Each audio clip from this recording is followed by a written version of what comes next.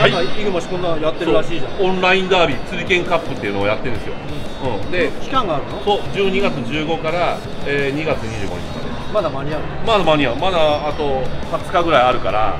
どういう大きいやつをすればいいの？そう大きいのを釣って、あのーそれを写真撮って確か送るはずなんですよ。アプリと？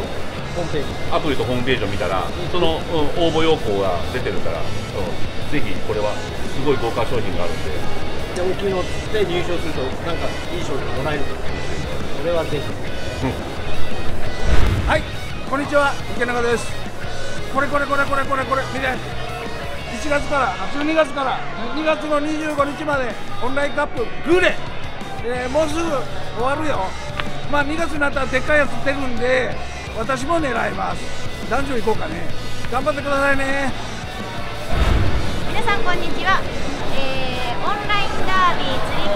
ただいま開催中です。締め切りはもう1ヶ月切ってます。2月の25日となってます。釣り券の浮きを使っていただいて大きなグレを釣ってぜひ投稿してみてください。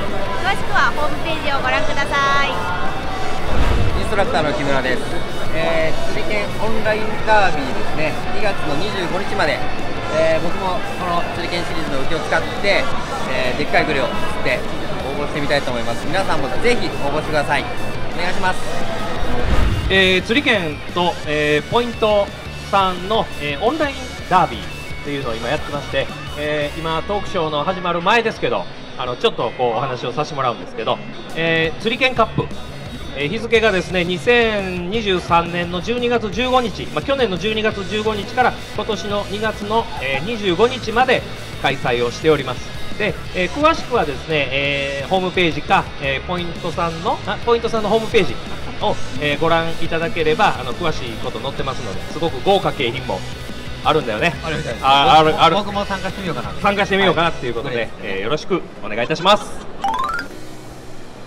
というわけで、えー名人さんがね、えーご紹介していただいているこの釣り券ポイントコラボレーションのねオンラインダービーでございますけれどももう一度おさらいしたいと思います、えー期限はね、え2月の25日まだまだ残ってます。ですのでこれからねたくさんの皆さんのご応募お待ちしてます。今もねもうすでにたくさんの方ご応募いただいてるんですけれども入賞のチャンスございます。えー1位から3位まではもちろん今でもないんですけれども飛び賞もあります。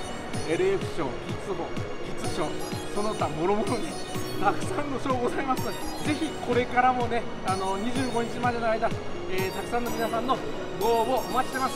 詳しくはねこちらはいホームページの方を見ていただければというふうに思います。というわけで、えー釣り券ポイントオンラインダービー釣り券カップですね、えーぜひ皆さんのご応募お待ちしてます。